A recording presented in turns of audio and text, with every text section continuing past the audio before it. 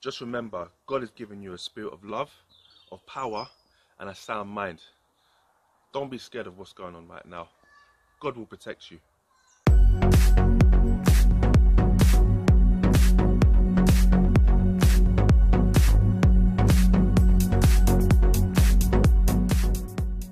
Happy Easter, my beautiful people. It's me, Wealth Riley.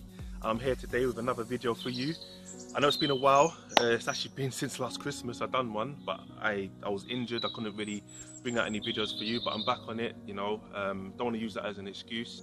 But I just wanted to do a video today to, to speak about a few things. You might be at home in this lockdown, you know, with people unwell in your family. You might have lost your job not being able to pay your bills or uh, put food on the table for your family, I just want to say one thing, you need to trust in God. And this is the reason I wanted to do this video. God's been speaking to me to do this video. Yeah. This video is not about conspiracy theories whatsoever. But before all this happened, I wasn't enjoying eating meat. Um, there were certain foods I was eating, I was it just wasn't agreeing with my body. I was smoking, I was drinking a lot. And this was like beginning of middle of last year maybe, something said to me, and I'm sure it was God. Stop smoking, stop drinking, stop eating the crap you're eating. And I did. My son, every day, every time he would see me smoke, he would tell me, Dad, please stop smoking. And he would cry. I would see my own son cry because I was smoking. And it really touched me. And I stopped. I stopped smoking. I stopped drinking. I started eating more healthy and I've never felt so good for doing so. And I think it was a message from God, especially for the time that we're living in right now. You know, eating certain things like sea moss, know, drinking certain smoothie, having smoothies every day, um, eating healthy food, foods I've never eaten before, cooking, cooking my own food instead of going to the fast food restaurants and eating, eating from there. Every time I would eat from the fast food restaurant, I'd feel sick. But that's not what this video is about today. That's another video. I've, I've got videos like that on my Instagram channel, you know. But before this happened, before this this lockdown happened, I used to say to myself every day, God, I want to be closer to you. I want to be closer to you, God. I used to say it all the time, and I don't know why I was saying it. Something was just playing on my mind. God, I want to be closer to you. God, I want to be closer to you. All of a sudden, the whole world has been locked down. And I don't think I'm the only person that said that prayer. I think there was a lot of you out there that were saying the same prayer that I was saying. God, I need to be closer to you, much closer. But you never had the time. You was working. Your your, your job was overtaking and overtaking your life. You didn't have time to spend time with your kids. But now look at the time we're in right now. Your job has told you either you know take take time off, or they've they've they've you know taken you away from your job. But now you have time to spend time with your family. I had my son with me for two weeks and I, I, I loved every minute of it. You know what, I actually can't believe it. I just want to pause for a second. It's been cloudy all day and I decided I've been contemplating all day to do this video. So I thought let me just come out and do it. And the sun just come out. I, I can't believe it. But anyway, let's carry on. There's a few things that are on my mind and I just wanted to get them across, you know. I've been praying a lot in the house, you know, because I've, I've, had, I've had time to sit at home and pray, get closer to God. And this is what I was asking for before, for Him to speak to me. And I think there's a lot of you struggling in life right now. You don't know what direction your life is going in. Um, you don't know what to do with yourself. You know, you know, you have no direction. You have no ambition to do anything. And maybe this time that we have right now, this lockdown, this this time you have alone with you and your family, it's time for you to put your perspective back into your life. You know, get back on the on the yellow brick road, as they say. Start putting your life in the right direction. Stop worrying about things of the world. You know, sometimes I've had friends. I, I'm sitting there talking to them about serious problems or serious things. Not so much problems. I won't say problems, but serious things.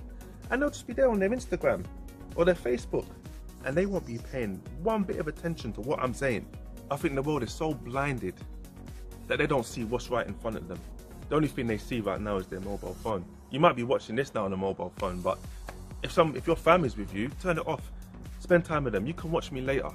Since I've been at home, you know, um, the church I grew up in, because I grew up in church, I used to go with my mum. Since I've been in, indoors, they've been doing live streams, and I've been watching the services and a lot of things have been speaking to me. You know, like a lot of people have been sending silly messages about certain things that are happening right now, which I don't need to know about. You know, the only thing you need to worry about is is the man up above. Yeah. But then it got me thinking about me growing up in church, it was hard because there was kids out there living their life, worldly kids that were doing their thing, and you wanted to try and stay on the right path, but there was prayer pressure from the outside. But what makes it worse is Christians inside the church that made your your life harder trying to be a Christian child. Not everyone in church is a Christian. Some people are there just for show. But don't let them people that are there for show ruin your walk with God. And that's what I let happen to me.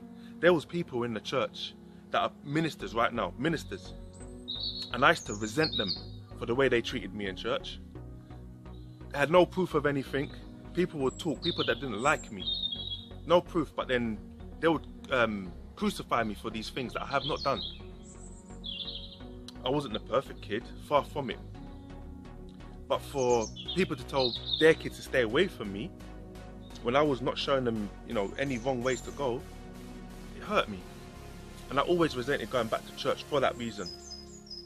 But I'm here today to tell you, don't let other people, like I said before, don't let other people ruin your walk with God.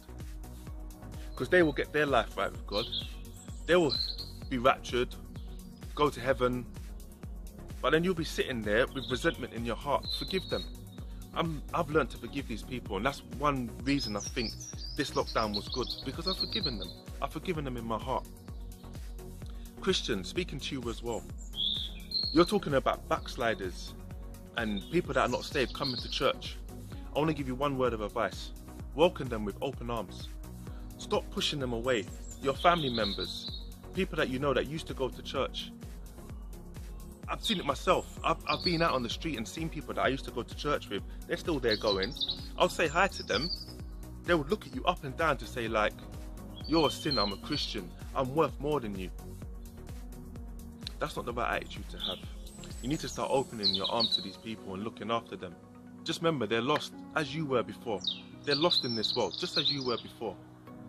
But listen, I'm pleading with you, yeah? Get your life right with God today. Get your life right with God today. He spoke to me about doing this video, and this is the reason I think I'm meant to be doing it. In this time of lockdown, if you've been having revelations in your mind or you've been having a lot of deep thoughts, spiritual awakenings, check out my um, my church's live streams. I'll, I'll, put a link in the description down below so you can check out one of the services. I think they do a service on Wednesday at 7.30, uh, 10.30 on a Sunday, and I think at 6.30 on a Sunday night.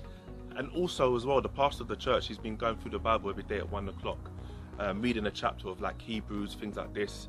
Um, just so you can get closer to God, you know, get a word from God. And there's like a little number at the bottom where you can text um, that you've been saved because they're going to ask you to pray, you know, for God to forgive you, forgive you for your sins. Um, and all you're gonna do is just text, and someone's gonna get in contact with you to, to you know, see how your walk is going in this time of, of, of hardship. This video was a bit spur of the moment. You know, it's just, just something that's been playing in my mind, and I just wanted to get it out there. It might not even make sense to you, but it makes sense to me. And maybe there's one person out there that it might make sense to. So even if this touches one person's heart, I've done my job. And that will make me happy. That will make the heavens happy. I'm gonna try and do some more videos um, within this coming week. I'm at home doing nothing anyway, so I might as well. Um, I might do some some videos on cooking, you know, for you to cook healthy. Might do some exercise. As you see, I'm getting a bit fat.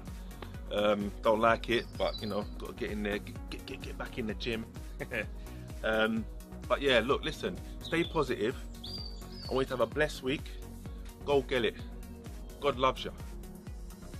Peace.